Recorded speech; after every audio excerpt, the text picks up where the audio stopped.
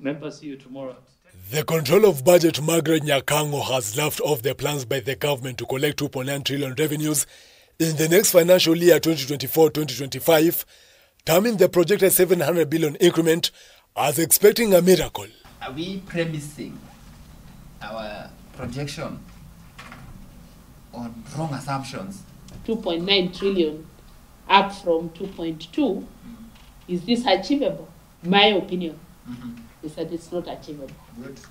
yes if we achieve it uh, i would be very happy so it will be a miracle to achieve the figures This statement comes just a day after President William Ruto proposed increasing the tax to GDP ratio, while the National Treasury acknowledged a significant revenue shortfall. My drive is to push Kenya.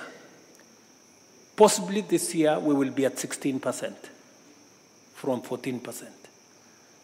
I want in my term, God willing, to leave it at between 20 and 22%. We are projecting that by end of June, we may not collect 300 billion. Nyakango has further poked holes on the budgetary allocations, pointing out the disproportionate ratio of 17% for development compared to over 70% for recurrent expenditure.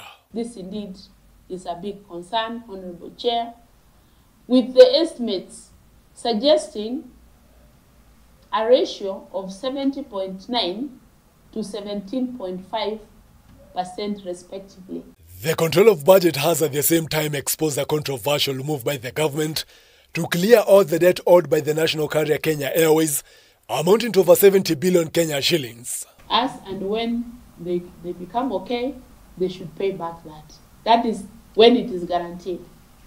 But right now, it's been taken over by the government as its own debt. On the strengthening of the shilling, she notes that it has helped reduce the national debt by 1.2 trillion Kenya shillings. Nyakango was speaking before the Debt and Privatization Committee of the National Assembly.